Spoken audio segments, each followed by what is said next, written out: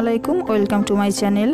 আজ আমি বানাবো যা আপনাদের জন্য সেটার রেসিপিটা আপনাদের সাথে শেয়ার করছি, উস্তা, আলু আর মাছের ঝোল।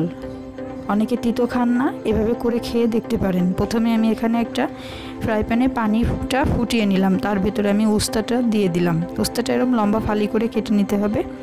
তো এটাকে এখন আমার এই ফুটন্ত পানিতে একটু এটাকে একটু হালকা সিদ্ধ করে নিতে হবে। যাতে তিতো ভাবটা চলে যায়। তো ঢাকনাটা দিয়ে আমি ঢেকে দিলাম। পানিটা কিন্তু আমি আগে থেকে একটু ফুটিয়ে নিয়েছি আর খুব কম সময় এটাকে আমি একটু হালকা একটু সিদ্ধ করে নিলাম।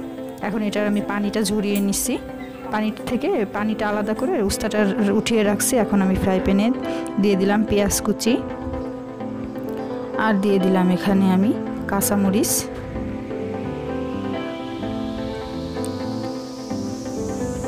আর দিয়ে দিলাম একটু লবণ।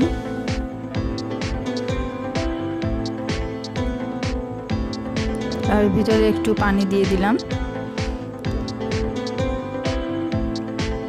ভিতরে এখন আমি একে একে মশলাটা অ্যাড করব।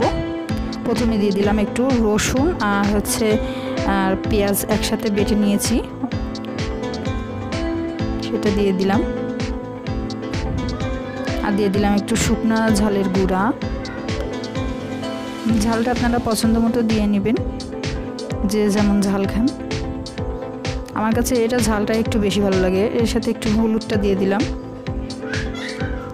এখানে আমি ঝাল প্রায় এক দেড় চামচের মতো দিচ্ছি আর হলুদটা আন্দাজ মতো দিয়ে দিচ্ছি এখন এর ভিতরে আমি, আলু দিয়ে দিলাম। আলুটাকে একটু কষিয়ে নিতে হবে।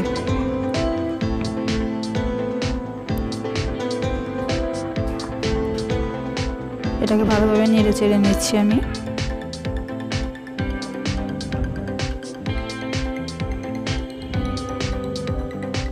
এবার ভিতরে আমি একটু পানিটা দিয়ে দিলাম।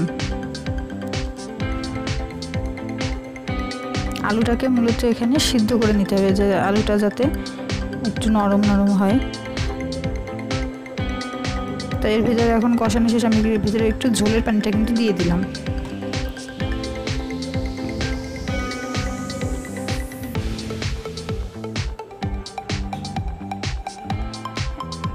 দেখতে পাচ্ছেন আলুটা কিন্তু আমার হয়ে গেছে এখন আমি এর ভিতরে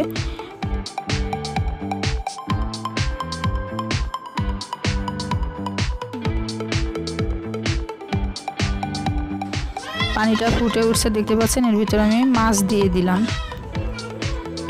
মাছটা দিয়ে এখানে আপনি মানে মাছটা একটু জাল হবে ঝোলের ভিতরে। তো পানিটা ফুটে উঠছে, দেখা যাচ্ছে। এর ভিতরে এখন উস্তাটা দিয়ে দিতে হবে।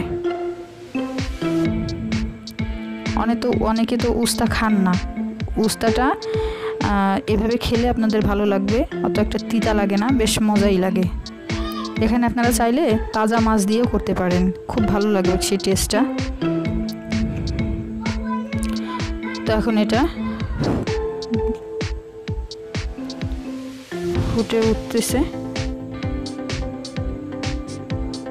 ঝোলটা প্রায় হয়ে গেছে। এখন আমি এর ভিতরে একটা স্পেশাল মশলা দিয়ে দিলাম। জিরা, পেঁয়াজ আর রসুন। একসাথে আমরা এটাকে ভেজে তারপরে তেলে ভেজে তারপরে এটাকে বেটে নিয়েছি। এখন এর ভিতরে এটা দিয়ে নেড়ে চেড়ে নিতে হবে। এখানে এটাকে ভালোভাবে নেড়ে চেড়ে নিয়ে এর তো এখন আমি এইটা ভালোভাবে নেড়ে এটাকে আবার ঢাকনা দিয়ে ঢেকে দিলাম। এখন আমার রান্না কমপ্লিট। এভাবে আপনারা বাসায় এটাকে রান্না করে খেয়ে দেখতে পারেন। খুব অসাধারণ হয় রান্নার রেসিপিটা। আর আমার রান্না যদি আপনাদের ভালো লেগে থাকে, তাহলে অবশ্যই কমেন্ট করে জানাবেন। আর, সাবস্ক্রাইব করতে কিন্তু ভুলবেন না। ভালো লাগলে শেয়ার করবেন। আল্লাহ